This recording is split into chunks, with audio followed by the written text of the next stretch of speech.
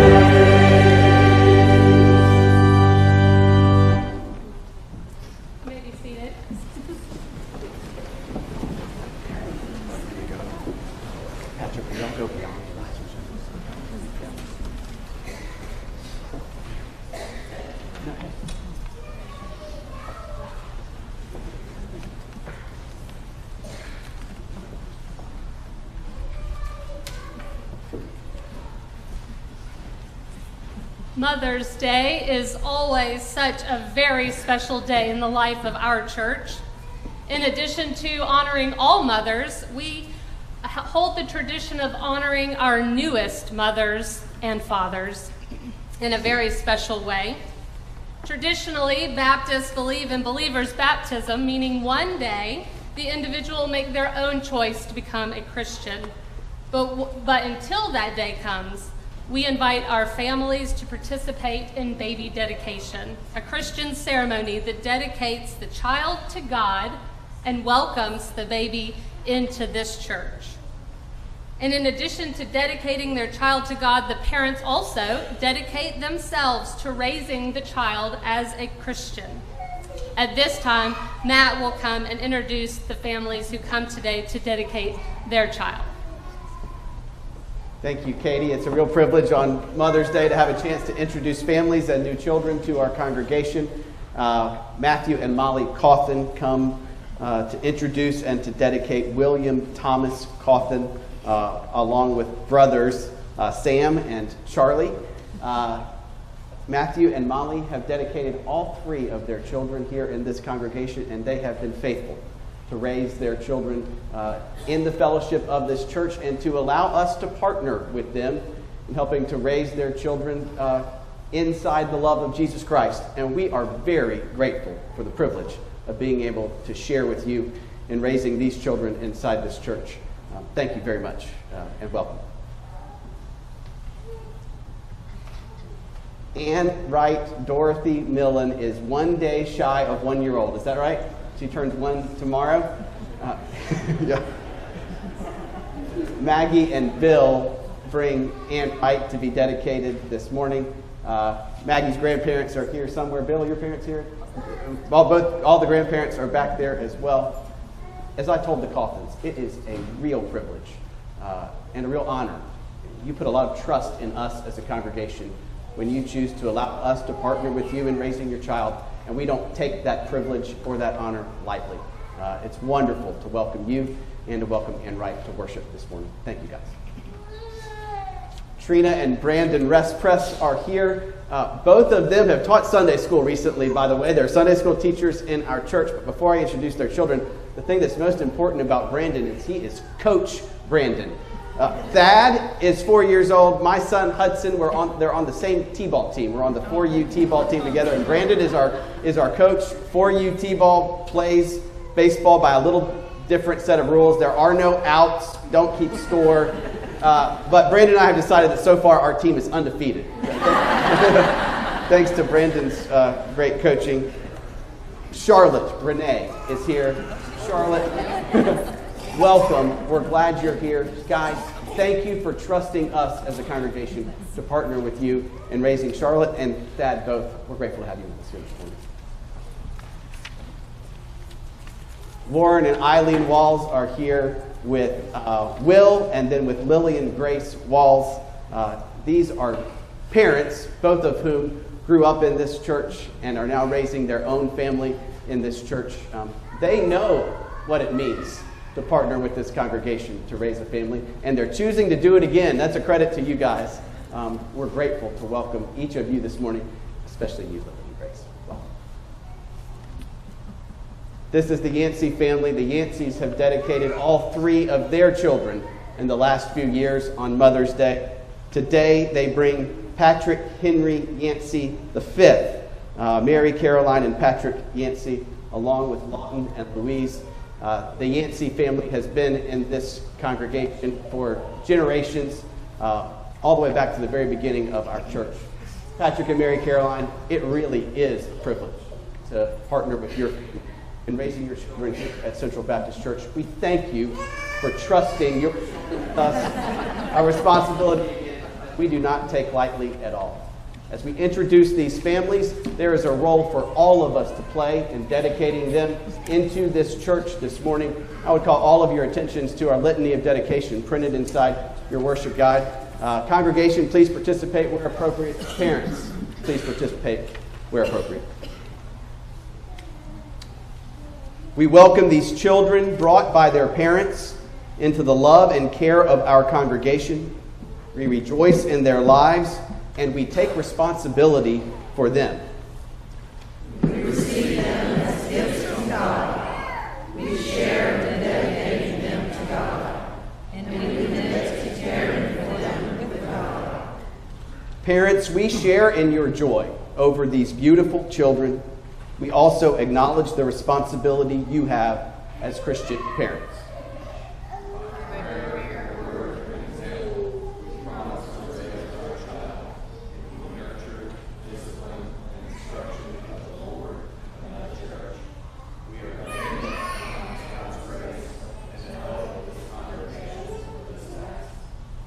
To you, the congregation of faith, I commend these children to your love and care as you endeavor to live before these children the life of faith.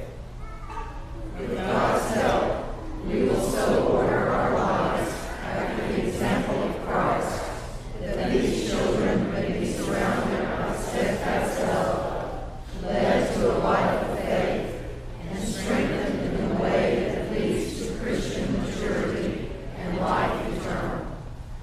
Having heard these promises, we do joyfully commend these children to the divine care and protection of God for all the years of their lives. May the blessing of the Lord Jesus Christ be upon these children. Amen. Let us pray. Loving God, we ask for your blessing over this day of new beginnings. These are your children, Lord, each one wonderfully made and dearly loved by you, by their parents, and by their church family. Surround each of them, Lord, with your wisdom and grace. Teach them to live life with a faithful heart that desires you. We celebrate with their devoted parents and pray your Holy Spirit will fill them with an abundance of love, patience, kindness, and wisdom as they raise their child to be your faithful servant.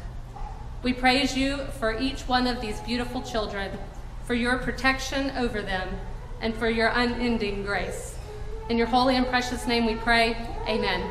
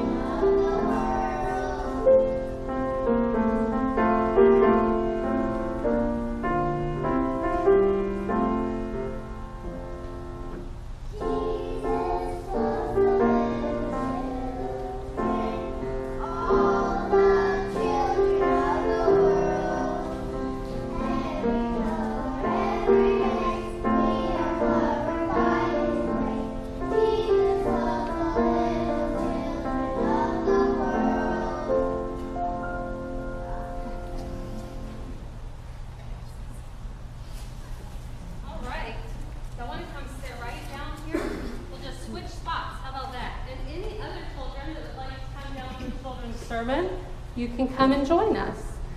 Can, can, do you think I can sit right here? And y'all can turn around and face me? How about that?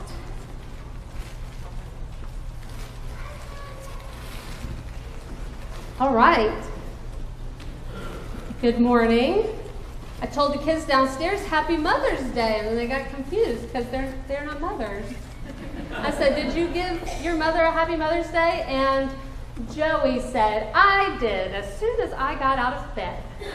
So, good job, Joey. Today we're going to talk about listening. It's the perfect thing to talk about on Mother's Day. I know that sometimes we really listen out for certain things, and sometimes we tune certain things out. Raise your hand if you know the sound of an ice cream truck. You know it right off the bat, don't you? What about, raise your hand if you know the theme song to your very favorite TV show? Yep, you could be in the other room and you said, oh, gotta go watch that. What about your mother's voice? If you're in the living room and you hear two people talking in the kitchen, do you know which one is your mom when she's talking? Yeah, because you know your mother's voice. I do that sometimes here at church. I can be in my office and people congregate in the hall, and sometimes I say, oh, I know who's out there talking because I can recognize a lot of our congregation's voice without even seeing who they are because we all have very unique voices. Mm-hmm. So this is sometimes we don't even have to be looking at anything or seeing something to know what the sound is, right? So I have the this basket, and you have to listen very, very carefully. But I'm going to reach my hand in here, and I'm going to make some noise, and I want you to see if you can recognize the sound without even knowing what it is. You ready?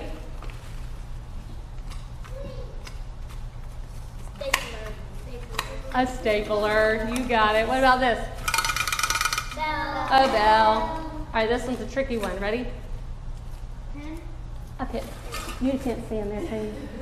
You're not cheating, are you? Good job. So you can recognize things even when you can't hear it, right? In our story today, Jesus talks about recognizing his voice, okay? And he tells us that several times throughout the Bible that he is a good shepherd and he takes care of his sheep. And that if you are a true follower of his, one of his sheep, that you could recognize his voice. But how does that work for us? Can we hear Jesus' actual voice right now? No, no but where can we hear Jesus' voice when we read it? In the Bible, it even says when Jesus actually says something, right? And have we read that a lot of times, right? We read over and over again, Jesus said, Jesus said, right? So we've studied what Jesus said in the Bible. We've become his followers, and did he say that he would take care of our his sheep, his followers? Yep, and if we're truly his sheep, then we would know his voice. Okay, so it might not be his actual voice, but even though we can't see Jesus, we've studied his word and we've done what Jesus says so much that we recognize what he wants us to do, right? So as we go through this, oh, another thing I told the early service, and we're going to talk about this in a couple weeks, but we know when Jesus goes back to heaven, Jesus sends the Holy Spirit, right? Is the Holy Spirit in all of us? Yes. So is God in all of us? Yes. So, can I recognize Jesus in Leah? Yeah, if, if, she's doing what Jesus says and acting like Jesus, I can recognize Jesus' voice in her. Can I recognize Jesus' voice in Hudson? Yes, because Jesus is in us. So if we're doing what Jesus wants us to do, because we've learned that and studied it, we can recognize Jesus' voice within each other because the Holy Spirit is in all of us. So this week I want you to be looking out for Jesus' voice in everything you do. Try to hear what Jesus is telling you to, to do. Let's pray. Dear God, thank you for the Bible and its truth. Thank you for teaching us who to follow. Help us to recognize your voice and do what you ask. Help us to follow you more closely. In his name we pray. Amen.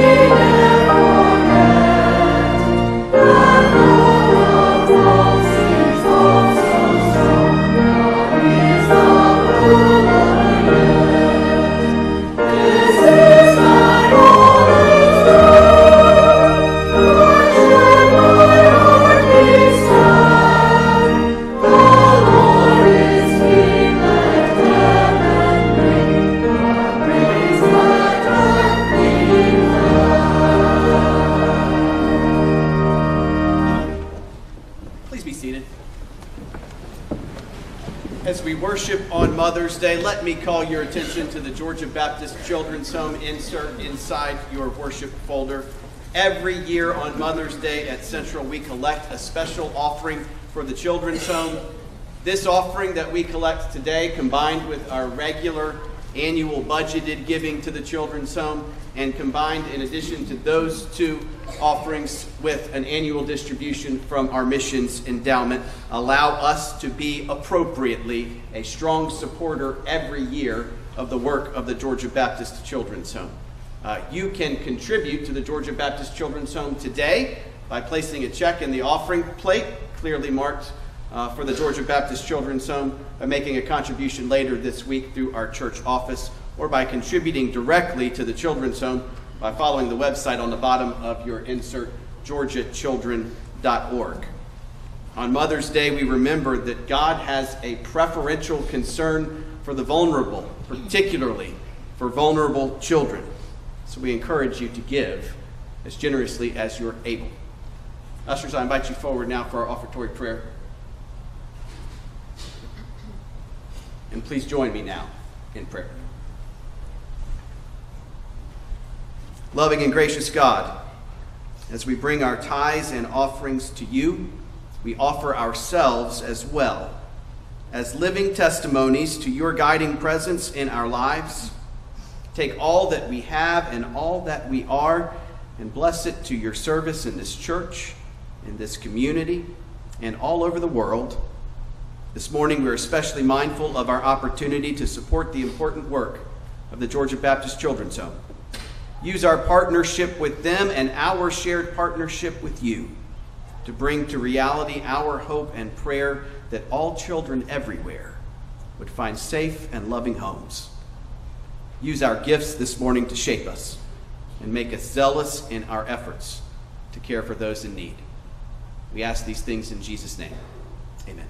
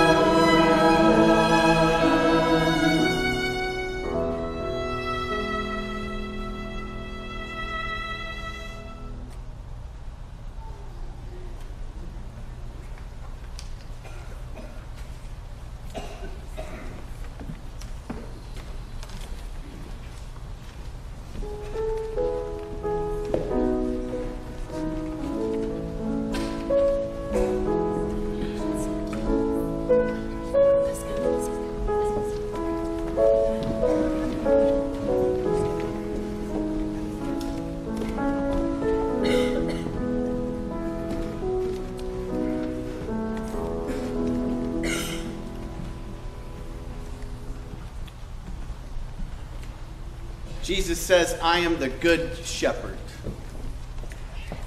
I speak to my sheep. They hear me. They listen to my voice. They know my voice, Jesus says. So if we are the sheep, what is it like to hear the voice of the shepherd? What is it like to hear the voice of God? What, is, what does God's voice sound like? The voice of the one who created the entire universe. What does that sound like? We don't know exactly how big the universe is that God created. But right now, all of the universe that we've been able to discover and see and measure, scientists say the observable universe right now is 93 billion light years across. 93 billion light years in diameter. And the observable universe, by the way, is almost certain to grow larger as this new Webb telescope gets deployed out into space. But right now, scientists estimate that the universe has a diameter of 93 billion light years, with more stars in the universe than there are grains of sand on the earth.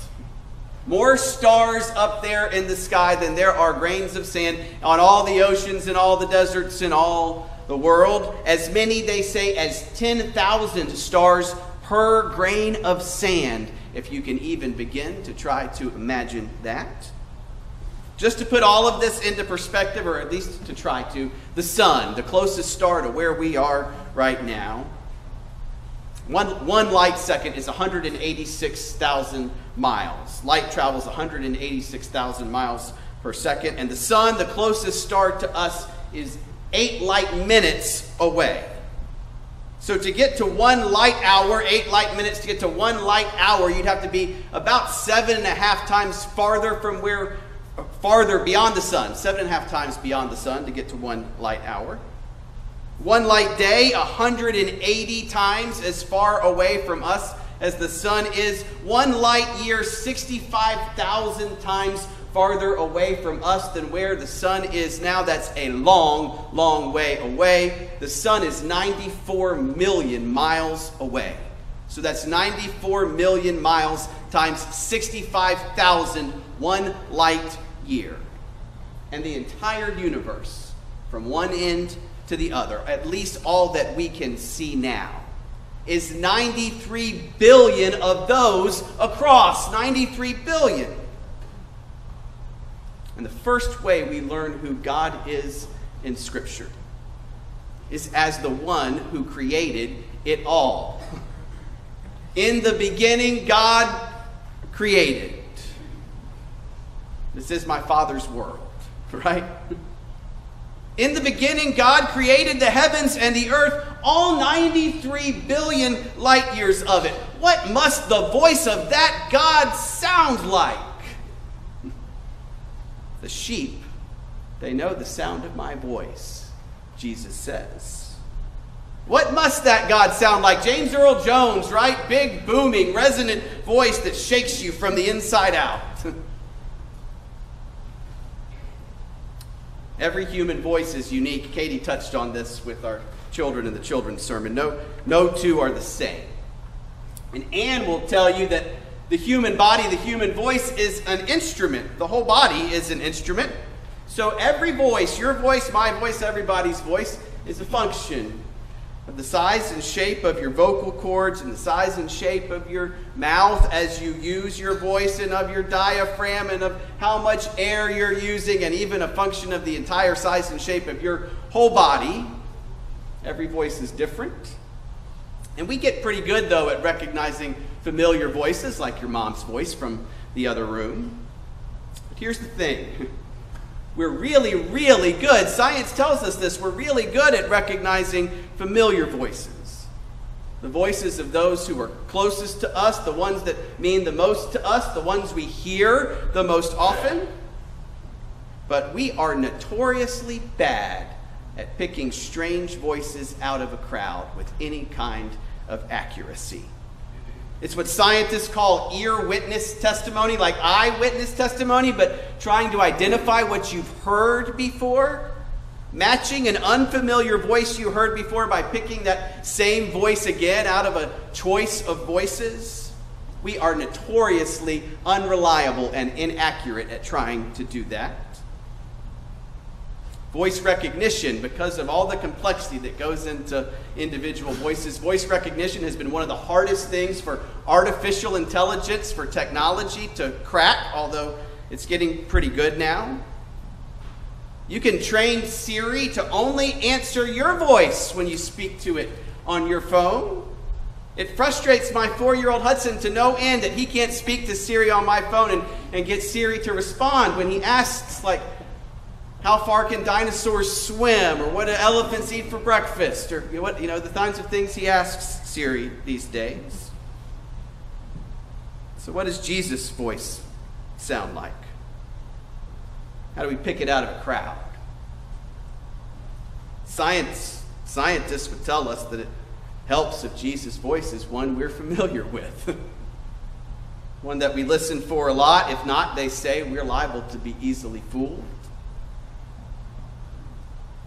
So it's easy to think that the creator of the 93 billion light year galaxy space, that that, that creator, this great, big, awesome, powerful, all encompassing cosmic creator, it's easy to think that that creator would have some great, big, booming voice that strikes us like a bolt of lightning coming right down out of a thundercloud but one of the most repeated and consistent metaphors for the voice of God.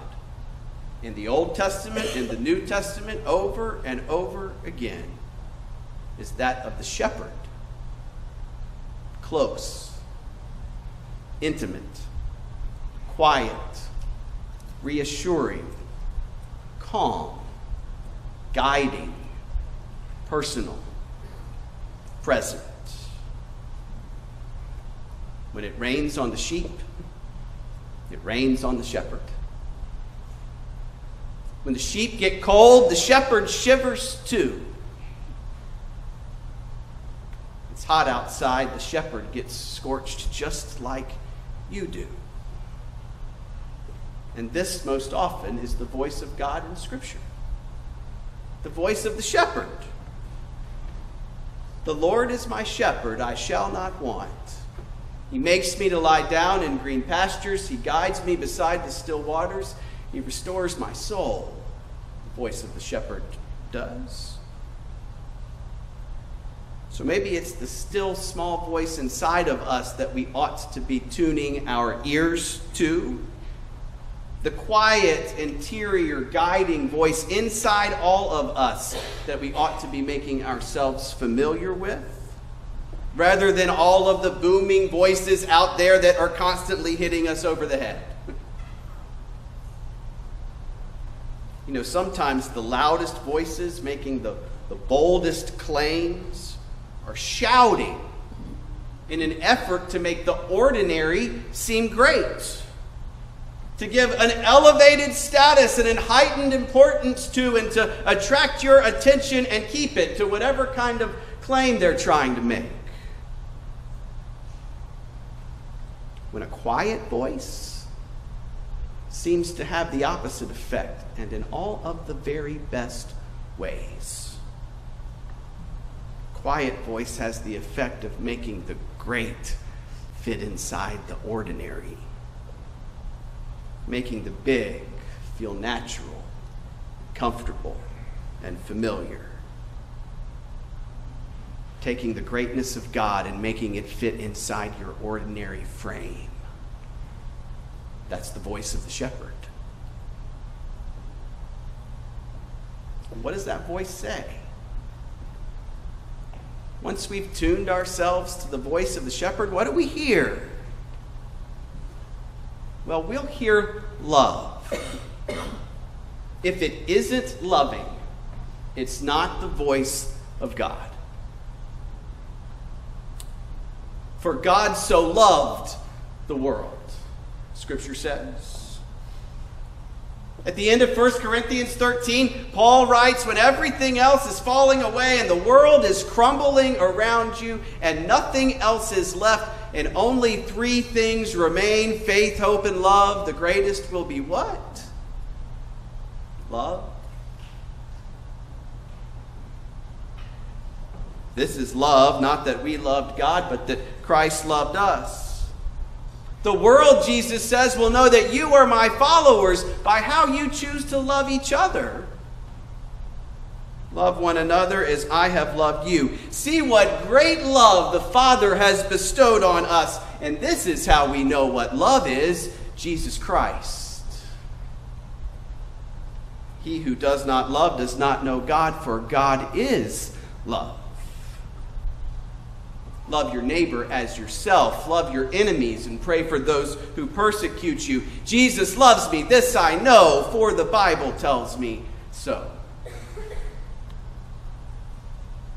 As the Father has loved me, so have I loved you. Now remain in my love. My command is this love each other as I have loved you. This is my command love each other. If it isn't loving, it's not the voice of God. And you know, you don't just say, I love you to anyone. For lots of people in this room, I love you can be an incredibly hard thing to say. Most of us don't just go around saying it to every single person we pass on the street. So when someone looks you in the eye and says sincerely, I love you, it makes an impact. It makes a difference. There's nothing quite like it. You think that wasn't true in Jesus' day? You think God doesn't know that, what it means to say, I love you? You think these things are written all over the pages of Scripture lightly? Parents in this room this morning, moms, moms especially.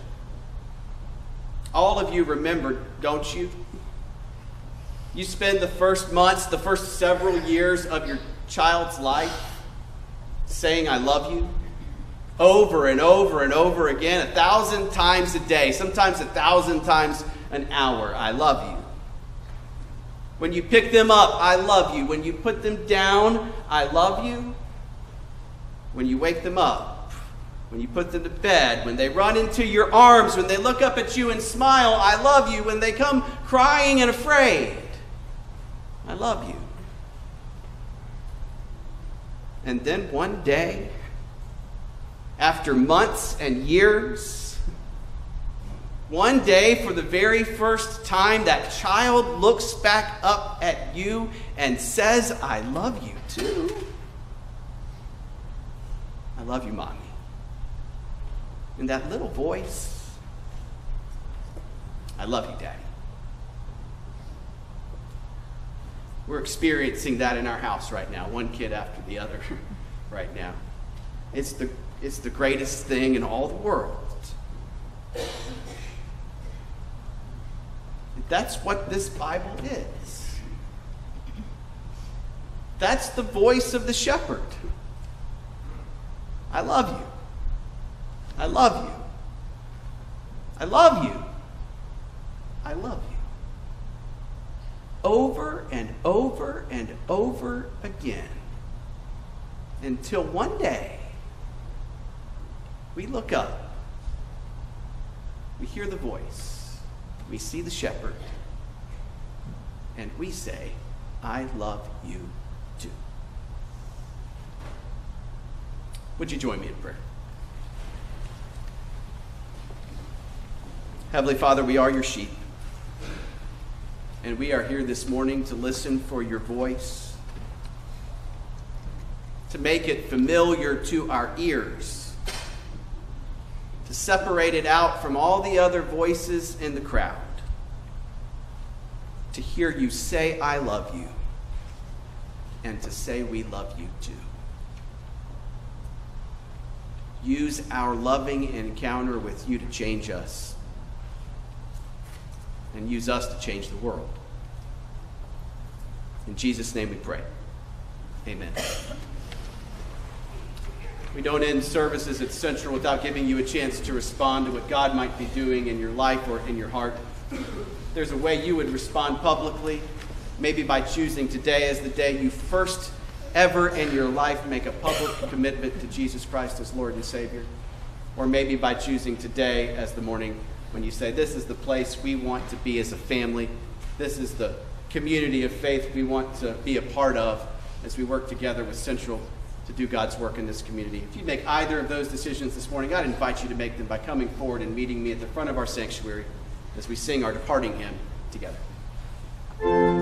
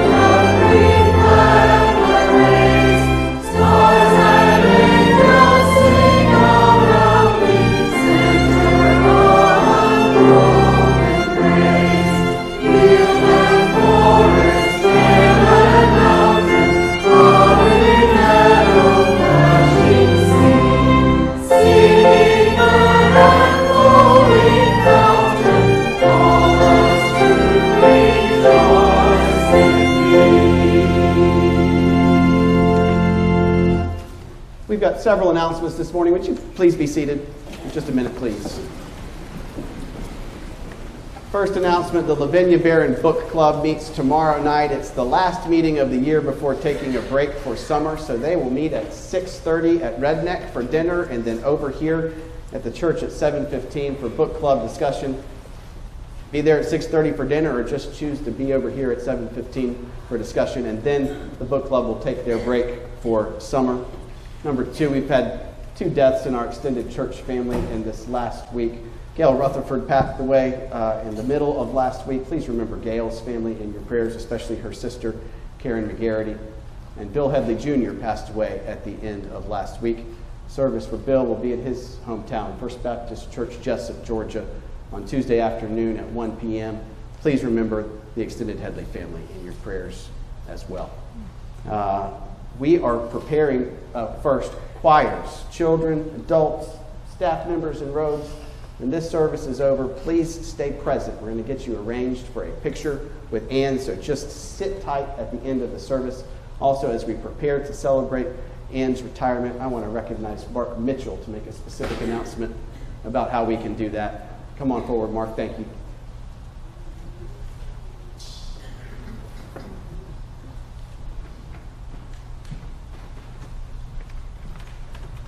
Good morning. As we continue to wrap our heads around the fact that uh, Ann will be retiring soon after a long tenure of service to this church, um, we are making plans to celebrate uh, Ann and the wonderful work that she has done over the years.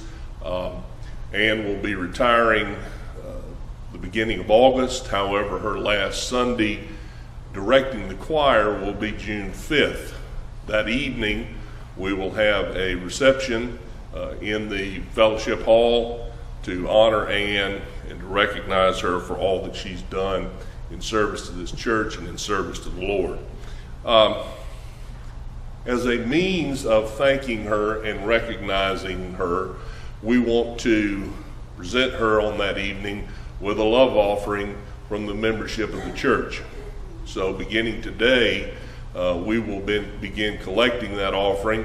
I would encourage you to either, uh, you can put a check in the plate next Sunday, you can mail a check to the office, you can drop one by, you can go online and make your donation. However, you want to do it, just make sure that your donation is clearly marked uh, for the love offering for Ann Chronic. So, uh, please be in prayer for this effort as we move toward uh, this date and continue here over the next few, few weeks, uh, uh, enjoying the wonderful work that Ann does here and uh, working towards celebrating her. So I ask that you please uh, give from your hearts as you consider this. Thank you. Thank you Mark.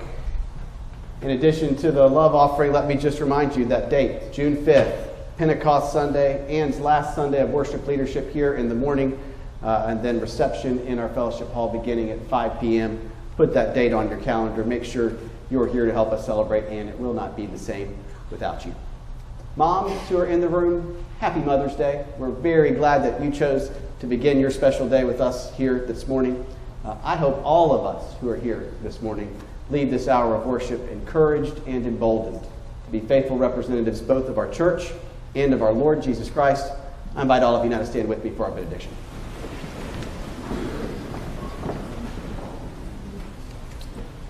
Depart now in peace, and as you go, may the God who makes all things holy and whole make you holy and whole, put you together, spirit, soul, and body, and keep you fit for the coming of our Master, Jesus Christ, in whose name we pray. Amen.